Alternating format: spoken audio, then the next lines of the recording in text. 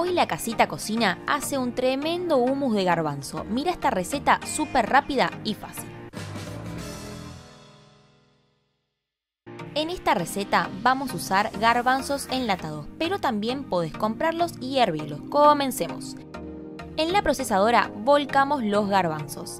De paso, no te olvides de darle like al video, de suscribirte si todavía no lo hiciste y de compartir esta tremenda receta que nos ayudas un montón vamos a volcar 4 cucharadas de aceite de oliva.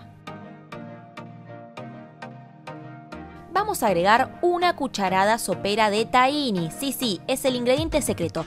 Si no tenés tahini, que es pasta de sésamo, podés verlo en nuestro video que hacemos la receta casera.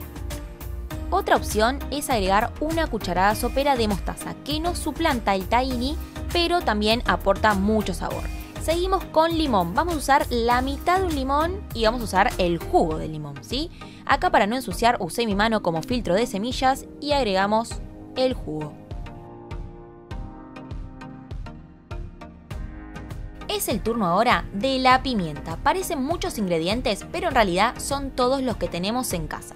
Igualmente, la pimienta es opcional. Seguimos con el comino. Vamos a usar una cucharadita de este ingrediente.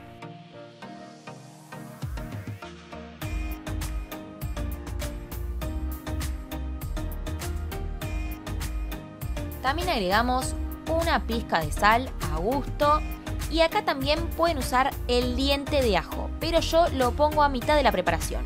Vamos a procesar y cada tanto vamos a tener que frenar la máquina y bajar con una cuchara o una espátula las paredes de este humus. Esta receta lleva un diente de ajo, Fíjense en que sea chico, que no sea tan grande porque va a salir con mucho gusto ajo. Yo lo pongo en la mitad de la preparación, como vieron. Terminamos de procesar y quédense en que vamos a emplatar y les damos un tip. Un chorrito de aceite de oliva alrededor y pimentón.